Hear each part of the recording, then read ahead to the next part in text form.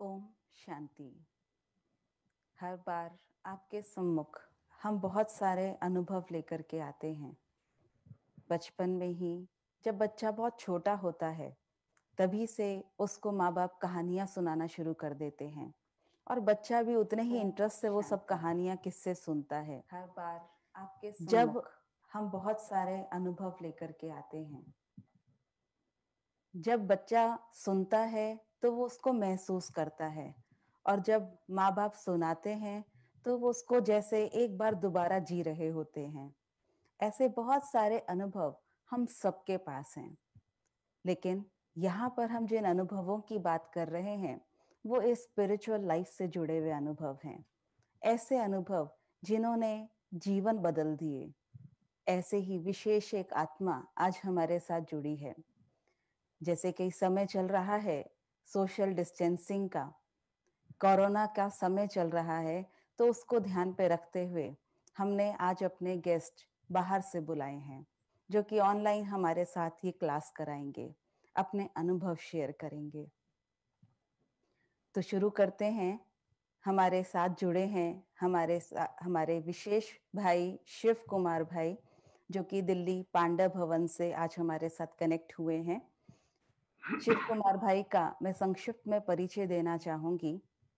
आप 61 इयर्स से ज्ञान में हैं और 57 इयर्स से आप समर्पित रूप से अपनी सेवाएँ दे रहे हैं। 1963 से 1973 तक आपने मधुबन में अपनी सेवाएँ दी और उसके पश्चात दिल्ली पांडव भवन में अपनी सेवाएँ दे रहे हैं। ये तो परिचय बहुत साधारण परिचय रहा परंतु आपके पास ऐसे विशेष अनुभव हैं जिसे आज आप सुनेंगे और आप सच में हैरान होंगे, क्या ऐसा भी हो सकता है? ऐसी विशेष आत्मा जिनको बाबा ने चुना और एक बहुत छोटे पन में ही आप बाबा के पास आ गए, जिसको हम ये भी कह सकते हैं पहले कुमार जो बाबा के पास आए। तो ऐसी विशेष आत्मा आज हमारे साथ जुड़ी है। हम शिव कुमार भाई से उनके अनुभव सुनना चाहेंगे।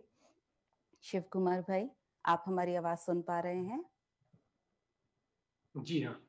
जी भाई जी आप अपना अनुभव हमारे साथ जो आज हमारे भाई बहने जुड़े हुए हैं उन सभी के साथ अपना अनुभव आज आप शेयर कीजिए। ओम शांति। सभी भाई बहनों को ओम शांति। बड़े भाग्य की बात है कि आज बाबा ने आप सभी के द्वारा मुझ आत्मा को निमित्त बनाया एक अलौकिक अनुभव सुनाने की मुझे बहुत खुशी हुई। मैं बहुत ही छोटे थे। लगभग सात आठ वर्ष की आयु थी। तब बाबा का ये ज्ञान मिला। और ये ज्ञान सबसे पहले हमारे चाचा जी को मिला। तो सभी लखनऊ में रहते थे, हम सब लखनऊ में ही रहते थे चाचा जी, चाची जी, बड़े भाई, भाभी सभी। तो मैं बड़े भाई के पास लखनऊ में पढ़ता था। तो पिताजी लखनऊ से कोई दो घंटे की दूरी पर गाँव में रहते थे और उस समय वो जिलेदार की पोस्ट पर थे। तो लखनऊ उनका आना जाना होता था। तो जब वो लखनऊ में आए तो हमारे चाचा जी ने उनको कहा कि आप बहुत वेद शास्त्र पढ़ती हैं, उपनिषद पढ़ती हैं। उन्होंने अपने घर में एक लाइब्रेरी बनाया हुआ था भक्ति मार्ग की किताबों की। और बोला कि यहाँ पर तो देवियाँ ज्ञान सुनाती हैं। अब वो भी नए नए ही थे। ज़्यादा कुछ तो सुना नहीं पाए, लेकिन उन्होंने इतना ज़रूर कहा कि आप उन देवियों के पास जाएँ और वो आपको कुछ सुनाएँगी। तो पिताजी, जब हम छोटे से थे, तभी से ही वो तीन बजे उठ जाते थे, लौकिक में भी। उठ करके वो थोड़ा आर्य समाज को मानते थे तो इसलिए वो हवन आदि करते थे और मुझे भी उठा देते थे। और हमारे हाथ में आठ दाने की जो माला होती थी, वो हाथ में पकड़ा देते थे। अब मैं तो ज़्यादा कुछ कर नहीं पाता था, बस वो माला पकड़ लेता था और थोड़ी देर के बाद नींद आती थी, मैं तो सो जाता था। लेकिन वो अभ्यास ज़रूर डालते थे सुबह उठने का, क्योंकि वो भी उठते थे और उनका मुझसे बहुत स्नेह भी था। तो जब वो लखनऊ में शांतामणि दादी जी के सेंटर पर आए, उनसे ज्ञान लिया और ज्ञान लेने के पश्चात वो क्लास भी करते थे। तो उन दिनों में मम्मा आई हुई थी लखनऊ में और मम्मा ने क्लास कराया। वो भी क्लास में बैठे हुए थे। चाचा जी भी थे मतलब सभी पूरा परिवार ही बैठा हुआ था। तो मामा ने क्लास कराते कराते ये पूछा कि कौन बाबा की सेवा में निकल सकते कौन समर्पित होना चाहते हैं, वो हाथ खड़ा करें। तो जहाँ तक मुझे ख्याल है कि पूरे क्लास में केवल हमारे लौकिक पिताजी ने ही हाथ खड़ा किया। मम्मा ने कहा, ठीक है, क्लास के बाद मिलिएगा। क्लास पूरी हुई। मम्मा ने उन्हें बुलाया और उनसे पूछा कि आपके कितने बच्चे हैं? सबसे छोटा कितनी आयु का है? बड़े कितने हैं? तो मैं तो उस समय सात आठ वर्ष का ही था। मेरे से बड़े भाई, वो तीन चार साल और बड़े हैं। इस प्रकार से उनसे भी बड़ी हमारी जो विद्या बहन जी हैं, वो मेरे से लगभग नौ दस साल बड़ी। तो इस प्रकार से मम्मा ने जब सुना तो मम्मा ने कहा कि आपके बच्चे तो अभी छोटे हैं, आप घर बार छोड़ करके समर्पित नहीं हो लेकिन घर में रह करके समर्पित भाव से बाबा की सेवा करो। और मम्मा ने एक वरदान दिया, देखो मैं तो उस समय सात, आठ वर्ष का ही था, हमें तो समर्पित शब्द का भी ज्ञान नहीं था।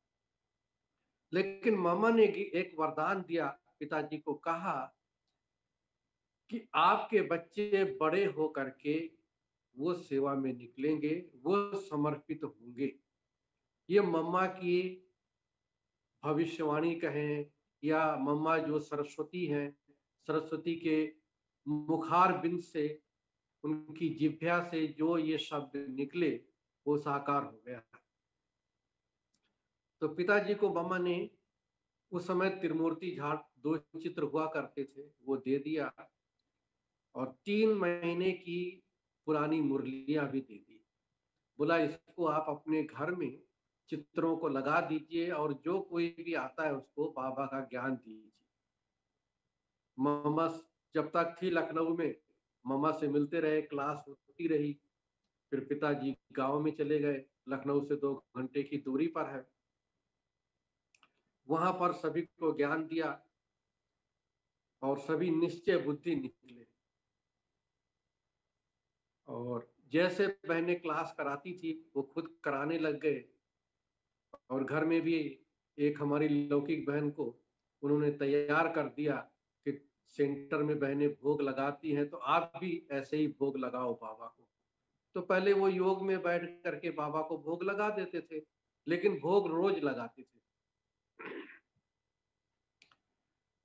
तो रोज ऐसे ही भोग लगाते लगाते वो बहन एक दिन ध्यान में चली गई। और ध्यान में जब गई तो बाबा ने उसको कहा कि मैं कानपुर में आ रहा हूँ। जो बच्चे शिव बाबा से मिलना चाहते हैं, शिव बाबा जो ब्रह्मा मुख के द्वारा ज्ञान सुना रहे हैं तो ब्रह्मा के द्वारा शिव बाबा को जो मिलना चाहते हैं बच्चे, वो आ सकते हैं। जिसको भी आना हो, वो आ सकते हैं। खुली छुट्टी जैसे कि बाबा ने दे दिया। और वो संदेशी बहन पहली बार ध्यान में गई थी। बाबा ने उसकी रस्सी ऊपर खींच लिया। जब वो भोग का कार्यक्रम पूरा हुआ तो हमारे पिताजी को लगा कि लखनऊ में भी बहनें ध्यान में भोग लगाती थी तो लगता है शायद ये भी ध्यान में चली गई होंगी। पिताजी ने उनसे पूछा कि आपने क्या देखा?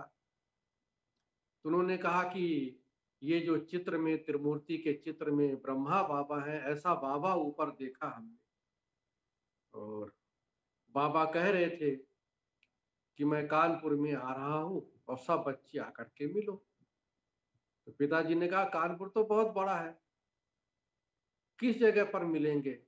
उन्होंने उस बहन को दोबारा भेज दिया ध्यान में और बोला, बाबा से पूछ के आओ कि आप कहाँ पर मिलेंगे? और किस तारीख को मिलेंगे? तो वो बहन दोबारा ध्यान में चली गई और बाबा से पूछा और बाबा से वो एड्रेस भी नोट कर लिया अपने दिमाग में और तारीख भी नोट कर ली। फिर जब वापस आई तो उन्होंने बतलाया कि बाबा ने कहा है कि 14 जनवरी सन 1961 में बाबा कानपुर में मिलेंगे और वो एड्रेस भी बतला दिया। सभी तैयार होकर के बाबा के पास जाने लग गए। और मैं भी जब बाबा के पास मतलब ये ज्ञान सुन रहा था तो मुझे भी बहुत अच्छा अनुभव हो रहा था। तो जब सब बाबा के पास जाने लग गए तो गाँव वालों को ये मालूम पड़ा कि देखो, हमारे बच्चे जो जा रहे हैं, पता नहीं ये वापस आएँगे कि नहीं आएँगे, क्योंकि उस समय एक हवा चली थी। कि जो ब्रह्मा कुमारी में जाता है, वापस नहीं आता है। तो सबको ये चिंता लग गई गाँव वालों को। तो सबने एक प्लान बनाया कि इनको नहीं जाने देंगे, इनका रास्ता रोक लिया जाएगा। तो जब बाबा को ये मैसेज गया कि बाबा, उसी बहन ने ही बाबा को ध्यान में जाके बताया कि बाबा सब हमारा रास्ता रोक रहे हैं, हम लोग आना चाहते हैं, मिलना चाहते हैं आपको। लेकिन हमें आप कोई युक्ति बतलाइए। तो बाबा ने बतलाया कि देखो, आपके घर के नज़दीक में पाँच किलोमीटर की दूरी पर रेलवे स्टेशन है, वहाँ पर मत जाइएगा।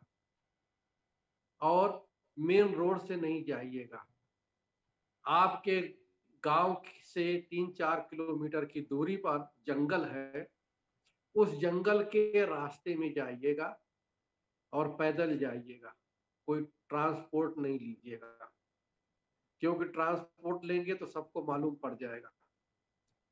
तो सभी जो है, उस जंगल में वन बाई वन इकट्ठे हो गए और वहाँ से ही सभी रात को पैदल चले। तो बाबा ने कहा कि मुख्य मार्ग से नहीं जाइएगा, क्योंकि मुख्य मार्ग में भागवत कथा हो रही है। और वो भागवत कथा वाले सब रोक सकते हैं। तो ये लोग जब भागवत कथा में बिज़ी हो जाएँगे पूरा गाँव तो आप लोग जो है रात्रि को नौ बजे निकलिएगा और जंगल के रास्ते से चलते जाइएगा। और बाबा ने बतलाया कि कम से कम 15-20 किलोमीटर दूरी पर एक रेलवे स्टेशन आता है। उसका नाम है रुदौली। ये Rudauli railway station district Faizabad में है, उत्तर प्रदेश में। तो बाबा ने कहा कि उस रुदौली स्टेशन से ट्रेन लीजिएगा। जब भागवत कथा पूरी हुई, सब लोग अपने अपने घरों में आए तो उन्होंने सोचा ये लोग डर गए होंगे, कोई निकले नहीं है। लेकिन उन्होंने हम लोगों के घर में ताला देखा और ताला दे करके उन्होंने इंक्वायरी किया तो पता लगा कि ये लोग तो नौ बजे निकल चुके हैं। हमारे पड़ोसी ने बता दिया था। अब उन लोगों को समझ में नहीं आया कि लोग कहाँ से गए होंगे। जब तक वो समझे इस बात को, तब तक तो काफ़ी देर हो चुकी थी क्योंकि भागवत कथा रात्रि को 12 बजे पूरा हुआ तो तीन घंटे में तो हम लोग बहुत दूर निकल चुके थे। और आगे जा करके ये 15-20 किलोमीटर पैदल चल करके आगे कोई हमारे ही रिलेटिव का घर आता था, वहाँ पर थोड़ा रिफ्रेश हुए फ्रेश हुए और वहाँ से ट्रांसपोर्ट लेकर के बाबा के पास पहुँच गए तो देखो, बाबा बुद्धिवानों का बुद्धिवान है और बाबा ने ऐसा रास्ता बतलाया। और एक अचंभे की बात यह है कि जब वो जंगल को पार कर रहे थे तो उस समय जंगल में तो कोई पक्की सड़क थी नहीं, कच्चे रास्ते थे। तो चलते चलते एक तीन रास्ता मिल गया। सब सोचने लग गए कि किस तरफ़ को जाए। तो बाबा को थोड़ा याद किया कि बाबा हमें किस तरफ़ को जाना चाहिए। तो उस समय एक ज्योति सी लाइट ज्योति बिंदु कहें, एक लाइट दिखाई दी। तो जिस तरफ़ वो लाइट दिखाई दी, उसी रास्ते को अपना लिया और सहज ही जंगल को पार कर लिया। तो देखो बाबा, वतन से भी अपना रास्ता बता रहे थे। और ज्योति बिंदु के रूप में भी रास्ता बतला रहे थे, लाइट के रूप में भी बतला रहे थे। तो इस प्रकार से बाबा बच्चों का ध्यान रख करके और रास्ता बतला करके विघ्नों से पार कर दिया। और उस समय जो दस बारह भाई बहने निकले थे ज्ञान में, वो बहुत पक्के निश्चय बुद्धि थे। इतने निश्चय बुद्धि थे, उन्होंने सोचा कि अगर हम अपना बैग भी लेंगे कपड़े का तो लोगों को शक पड़ जाएगा। तो उन्होंने ऐसी युक्ति रची कि तीन तीन ड्रेस एक साथ पहन लिया, ताकि लोगों को शक ना पड़े कि हमारे साथ कोई सामान भी जा रहा है। तो बहुत युक्ति से और ठंडी का टाइम था तो उनको तीन तीन ड्रेस पहनने में कोई आपत्ति भी नहीं लगी, कोई मुश्किल भी नहीं हुआ। जब बाबा के पास पहुँचे तो वहाँ तो कोई पहचानता ही नहीं था। का पूरा दिन बीत गया और सब कहने लगे कि आपको किसने कहा कि यहाँ पर बाबा आए हैं? उनको जब बताते थे तो वो कोई मानने को तैयार नहीं होता था। लेकिन उस समय वहाँ पर दीदी मनमोहिनी जी थी, जब उनको मालूम पड़ा तो उन्होंने बाबा को बतलाया कि बाबा, एक पार्टी आई है, वो कहती है कि मुझे बाबा ने भेजा है, बाबा ने बुलाया है, बाबा ने रास्ता बतलाया है। तो बाबा ने कहा, अरे मैं तो उनका बहुत देर से इंतज़ार कर रहा हूँ। बुलाओ बच्चों को। जब तक बहने बुलाने के लिए आए, तब तक बाबा स्वयं बाहर आ गए और सभी को रिसीव किया और रिसीव करके अंदर ले गए, सभी से बातचीत किया। तो उस समय हमारी लौकिक माता जी भी सामने बैठी हुई थी, उनके पाँव में सूजन थी। तो कहीं से बाबा ने देख लिया उस पाँव में। तो माता जी से पूछा कि ये सब कैसे हुआ? तो उन्होंने कहा कि जब मैं जंगल से आ रही थी तो पता नहीं क्या लग गया अंधेरे में और ये पाँव में सूजन आ गई तो बाबा प्यार के सागर, स्नेह के सागर बाबा स्वयं अपने स्थान से उठ करके लौकिक माता जी को अपने ही रुमाल से सहलाने लग गए, अपने हाथ से माता जी के पाँव को सहलाने लग गए। और कहने लगे कि माताओं ने तो मुझे आधा कलप पुकारा है। अब मैं आ गया हूँ आप सबकी रक्षा करने के लिए। तो इस प्रकार से बाबा के नैन जैसे कि गीले हो गए। और वो एक स्नेह बाबा का देखने लायक था कि देखो बाबा कैसे स्नेह दे रहे हैं। स्वयं भगवान माताओं को जो है पाँव से सहला रहे हैं, पाँव को। इस प्रकार से बाबा ने बड़ा ही स्नेह दिया। और पास में हमारे पिताजी भी बैठे थे, लौकिक बहन भी बैठी थी, और सभी बैठे थे। तो लौकिक बहन ने बाबा को कुछ गिफ्ट दिया जो मतलब इन्होंने इनाम में जीता था। तो बाबा ने कहा कि ये तो खादी का इनाम है, बाबा तो उलन का देंगे। बाबा ने फटाफट शॉल मंगवा करके और विद्या बहन को पहना दिया। इस प्रकार से बाबा ने बहुत सम्मान दिया। अब जो भी भाई बहने बाबा के पास, बाबा को मिलने के लिए आए हुए, उन्होंने कोई तो धर्मशाला में अपनी जगह ले लिया था, कोई रिश्तेदार के पास ठहरे थे, लेकिन हम लोगों ने तो कोई जगह नहीं लिया हुआ था। तो बाबा ने बड़ी दीदी को कहा कि ये लोग कहाँ ठहरेंगे, इनका इंतज़ाम कहाँ किया है? तो दीदी जी ने कहा, इनका तो कुछ मालूम नहीं था, इसलिए इनका इंतज़ाम कुछ नहीं हुआ है। तो उस समय कानपुर में इनकम टैक्स कमिश्नर थे, युगल रूप में वो ज्ञान में चलते थे। उनको सभी बाबूजी और माताजी कहते थे। बाबा ने इनकम टैक्स कमिश्नर जी को बुलाया, वो आए गाड़ी लेकर के। और बाबा ने उन्हें कहा कि ये हमारे जो बच्चे गाँव से आए हैं इनको आप अपने घर में ठहराओ। तो उनका जो गेस्ट रूम था, वो खाली था।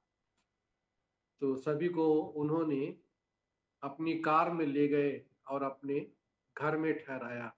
तो देखो, बाबा ने गाँव वालों को इतना रिस्पेक्ट दिया, इतना सम्मान दिया कि कई बार हम सोचते हैं या कई भाई बहने ये सोचते हैं कि इस संस्था में तो अमीरों का ज़्यादा ख्याल किया जाता है, लेकिन ये एक जीता जागता प्रमाण है कि गाँव वालों को, गरीब लोगों को बाबा ने कमिश्नर की गाड़ी मंगवा करके उनके घर में रखा और रोज बाबा से मिलते थे। फिर जब वापस आने लगे तो बाबा से मिल रहे थे। बाबा ने कहा, बच्चे जा रहे हो? बोला हाँ जा रहे हैं। तो सभी एक लाइन में खड़े थे।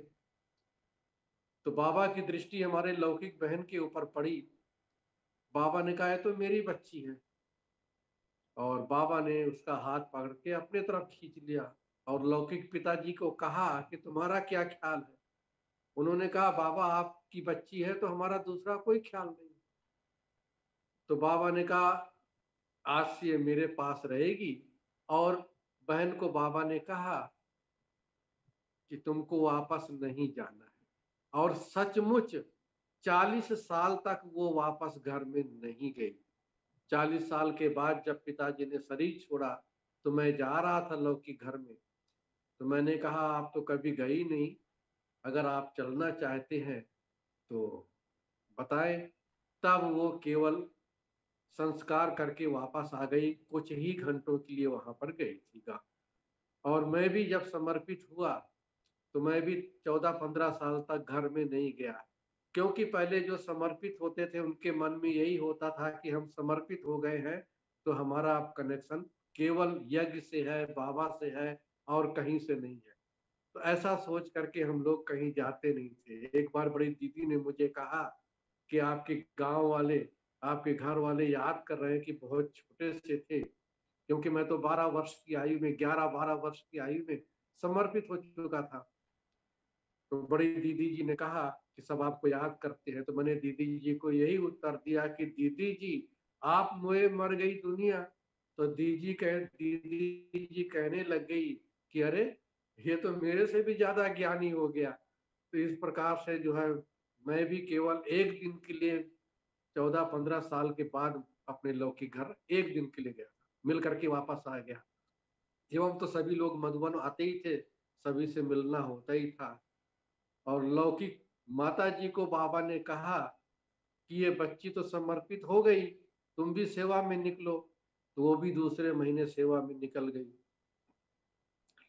और मैं तो लखनऊ में पढ़ता था तो मैं भी थोड़ा स्कूल की छुट्टी हुई। तो मैं बाबा अपने मतलब बाबा बाबा के घर कहो ग्रैंडफादर और पिताजी इकट्ठे रहते थे। तो जब मैं भी लौकिक घर गया तो लखनऊ में तो रोज क्लास नहीं हो पाती थी, दूर था सेंटर, लेकिन घर में ही सेंटर था तो रोज क्लास होती थी। रोज बाबा का भोग मिलता था खाने को और विशेष योग में बैठने का चांस मिला। तो वो जो छुट्टियाँ थी, उसमें बहुत अनुभव हुए और उन्हीं छुट्टियों में मैंने योग किया, रोज योग में दो दो घंटा तीन तीन घंटा बैठते थे, बड़ा अच्छा लगता था। तो मुझे साक्षात्कार हुआ ज्योति बिंदु का, ब्रह्मा बाबा का, वतन का भी साक्षात्कार हुआ। तो मैंने पिताजी को बतलाया और पिताजी को मैंने कहा कि मैं तो लखनऊ नहीं जाऊँगा, पढ़ने के लिए यहीं गाँव में पढ़ूँगा। पिताजी तो सहमत नहीं हुए। रोज हमारी उनसे डिबेट होती थी, उनका स्नेह भी था, लेकिन वो हमारी बात को काट देते थे। तो मैंने कहा, अगर आप वो कहते थे, लखनऊ जाके पढ़ो, वहाँ अच्छी पढ़ाई होगी। मैंने कहा कि, मुझे तो यहीं रहना है, वो चाहते नहीं थे। तो मैंने कहा, अगर यहाँ नहीं रखोगे तो मैं बाबा के पास चला जाऊँगा, जहाँ पर लौकिक बहन और माता जी गई हुई है। क्योंकि बाबा का पत्र हर दूसरे महीने हमारे लौकिक घर में आता था। बाबा स्वयं पत्र लिखते थे तो पिताजी सबको वो पत्र सुनाते थे और बड़ा अच्छा लगता था। तो इतना मालूम था कि बाबा को पत्र लिखा जा सकता है। तो मैंने बाबा को पत्र में इतना ही लिखा कि बाबा, मैं आपके पास आना चाहता हूँ। मेरी उम्र इतनी है, छोटा हूँ। लेकिन मैं आपके पास कैसे पहुंचूं? बस ये केवल मैंने चार लाइनों का पत्र बाबा को लिख करके और पोस्ट कर दिया और वो केवल पिताजी को और मुझे ही मालूम है।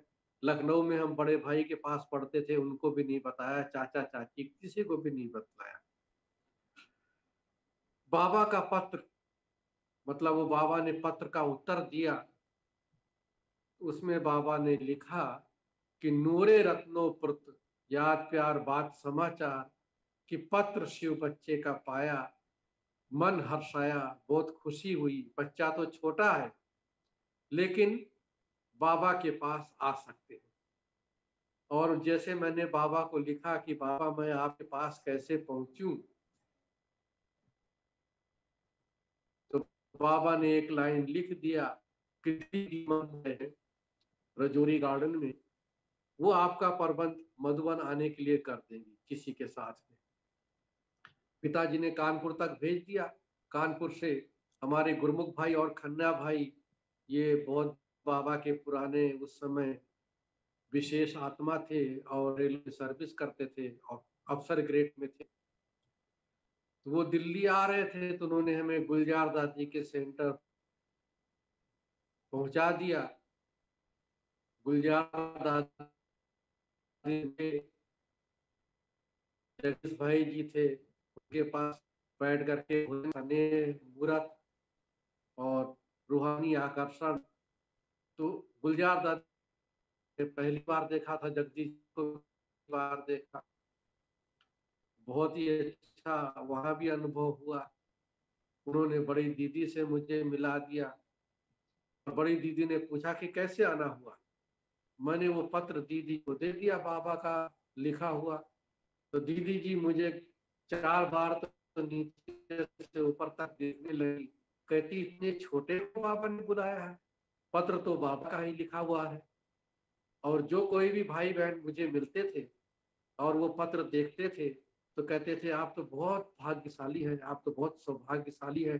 बाबा तो किसी किसी बड़े बड़े दीदी दादियों को पत्र लिखते हैं, मुख्य भाइयों को पत्र लिखते हैं। आपको बाबा ने पत्र लिखा, आप तो महान आत्मा हो, भाग्यशाली हो, ऐसी ऐसी बातें जो सुनाते थे उससे हमें बहुत खुशी होती थी, बहुत अलौकिकता अनुभव होता था।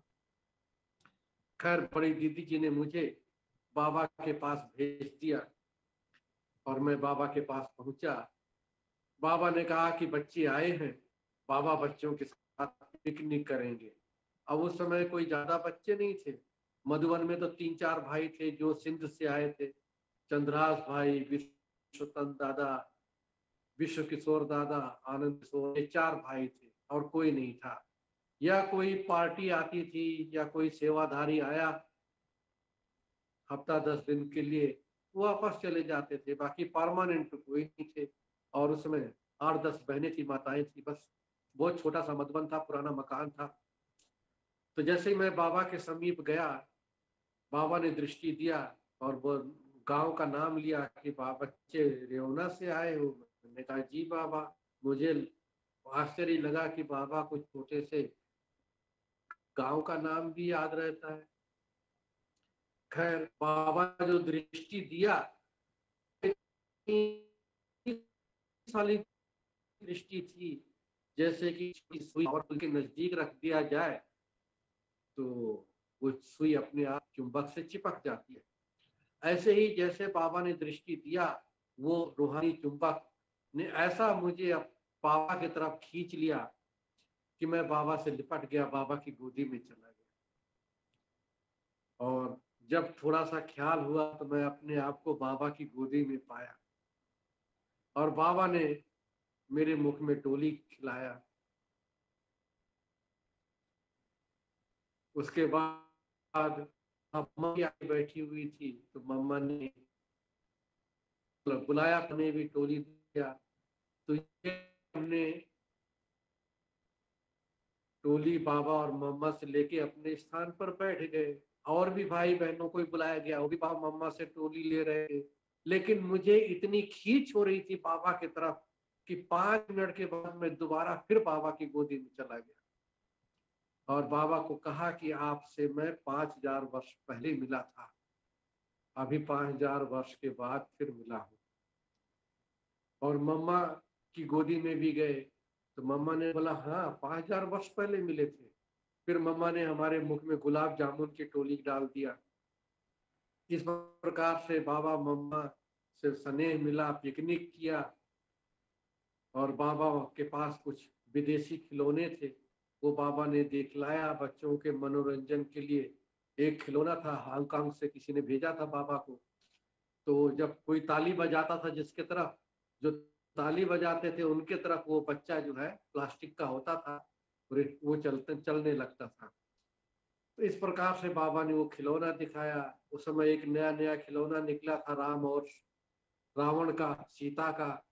तो जब सीता के तरफ़ रावण का मुँह करते थे तो सीता फेर लेती थी और राम की तरफ़ मुँह कर लेती थी।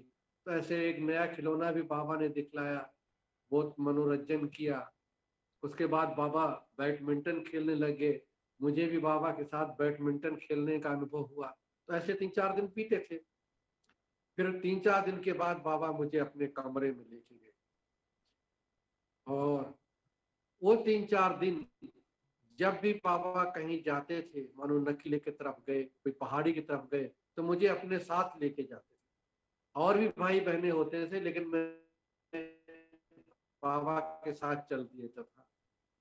बाबा के साथ घूमता था। चार दिन के बाद बाबा मुझे अपने कमरे में ले गए, वहाँ लच्छू दादी थी। लच्छू दादी को कहा कि इस बच्चे को बाबा के रूम की सेवा सिखाओ। और बाबा ने कहा कि ये बच्चा तो छोटा है, इसको पढ़ना चाहिए। तो एक टीचर नियुक्त कर दिया और वो हमको तीन साल तक ट्यूशन पढ़ाता रहा, वो सिंधी भी पढ़ाता रहा, इंग्लिश भी पढ़ाता रहा, हिंदी भी पढ़ाता रहा। तो छह क्लास पास करके हम गए थे सातवीं क्लास की बुक मेरे हाथ में थी। और तीन साल तक बाबा ने जो है वहाँ ट्यूशन दिलवाया, ताकि लौकिक और अलौकिक दोनों ही पढ़ाई पढ़ सके। तो दादी ने कहा, बाबा, अभी तो ये छोटा है, सेवाएँ तो बहुत होती बाबा के रूम की। तो बाबा ने एक वरदान दिया। बाबा ने कहा कि ये बच्चा सेवा में ना नहीं करेगा। तो लच्छू दादी ने मुझे कहा कि देखो, बाबा के लिए गर्म पानी ले आओ नहाने का। वो तो बहुत दूर से लाना पड़ता था। जो हमारा किचन है, बड़ा किचन, वहाँ पर बॉयलर होता था। वहाँ से पैदल जो है वो बाल्टी मतलब पाँच छह चक्कर लगा करके और बाबा की हम बाल्टी बाल्टी भर देते थे, वो बाल्टी बहुत बड़ी होती थी, लोहे की होती थी।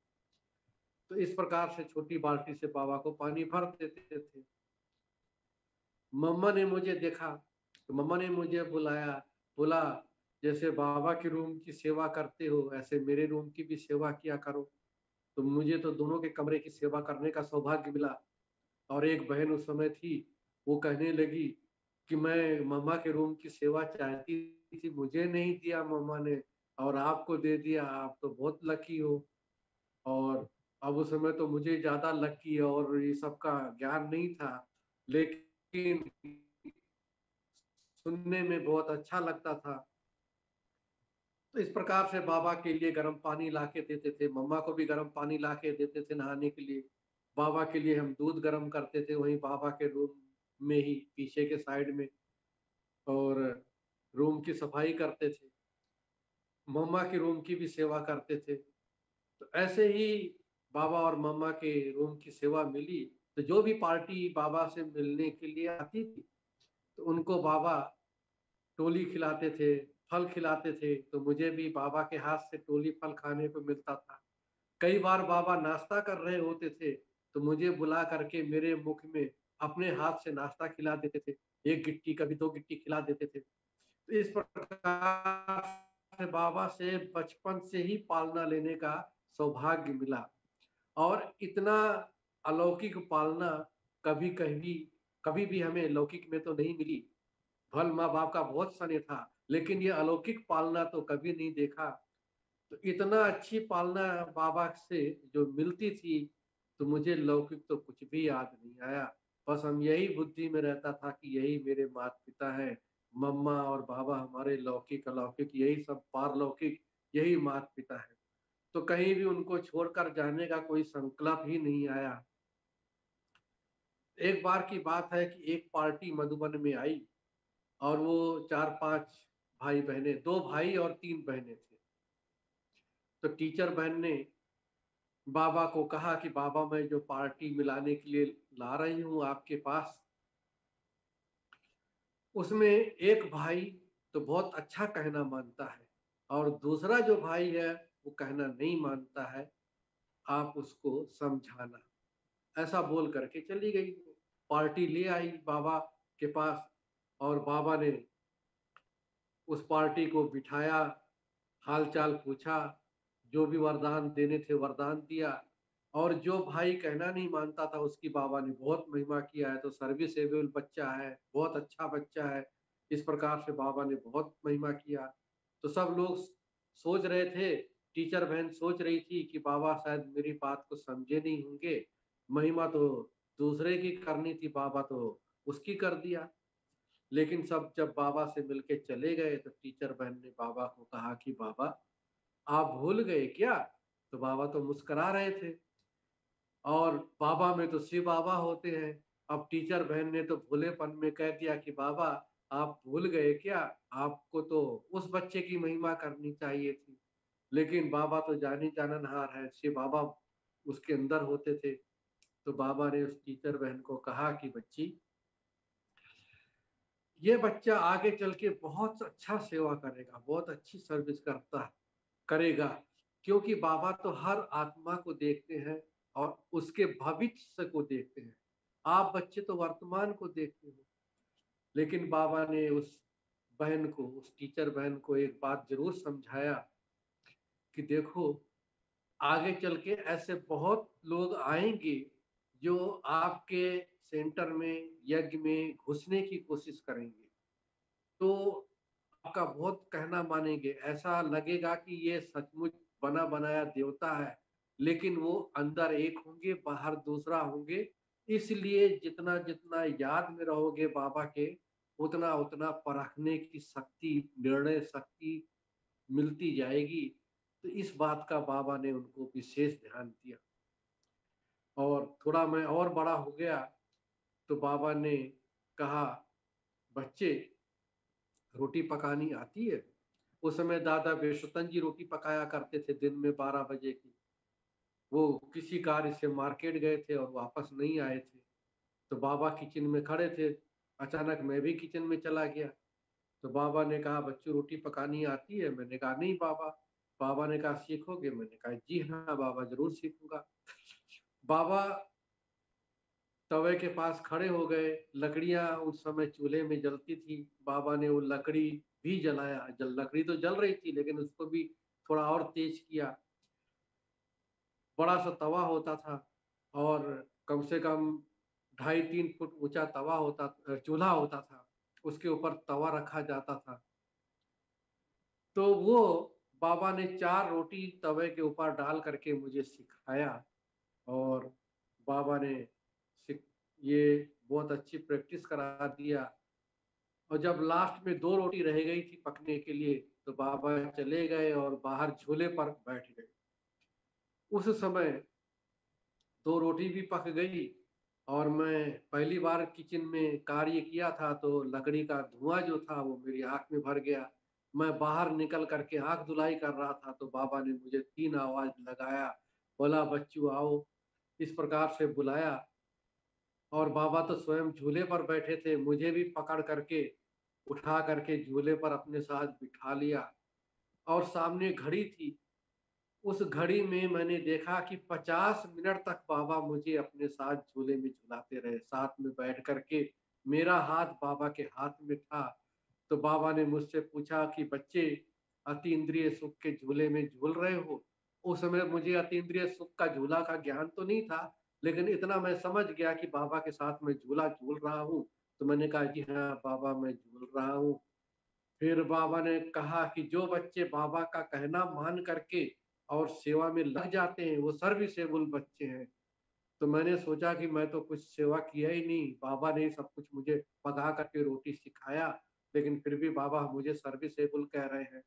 इस प्रकार से बाबा जो है सम्मान देते हुए, महिमा करते हुए और बाबा ने खुशी और उमंग में जो है हमें झुलाते रहे तो मुझे बताया गया था कि 9 बजे करीब पूरा करना है, तो आज का मैं ये 9 बजे का कार्यक्रम पूरा कर रहा हूँ।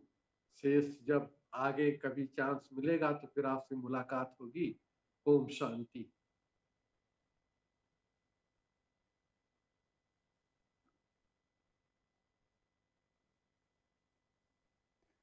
ओम शांति। शिव कुमार भाई का बहुत-बहुत धन्यवाद। आपने तो बहुत जी, आपने बहुत ही सुंदर अनुभव बाबा के साथ के सुनाए। जैसे पहले के अनुभवों में हमने देखा कि बहुत सारे लौकिक भी अनुभव हमारे सामने आए, लेकिन क्योंकि आप बाबा के ही साथ रहे हैं बचपन से, तो बाबा के ही हमने बहुत सारे अनुभव सुने और ऐसे अनुभव जो कि चमत्कार जैसे लगते हैं कई बारी सुनने में। तो ऐसे विशेष अनुभव हमने सुने, लेकिन हम जानते हैं कि शिव कुमार भाई साहब के पास बहुत सारे और भी ऐसे अनुभव हम कहीं खजाने और भी भरे हुए हैं। तो इसी की श्रृंखला को हम अभी और आगे बढ़ाएँगे और नेक्स्ट एपिसोड भी हम शिव कुमार भाई के साथ करेंगे। इससे, अगले से अगले मंडे को वो होगा, क्योंकि अगले मंडे को फैमिली वर्कशॉप रहेगा तो उसके नेक्स्ट मंडे हम इसी अनुभव को यहीं से ही कंटिन्यू रखेंगे। फ़िलहाल आज के लिए बहुत बहुत थैंक्स शिव कुमार भाई और बहुत बहुत थैंक्स हमारे साथ हमारे जो भी भाई बहनें जुड़े हुए हैं तो हम इसको आगे कंटिन्यू करेंगे। ओम शांति। ओम शांति। थैंक यू एक मिनट बाबा को याद कर लेते जी।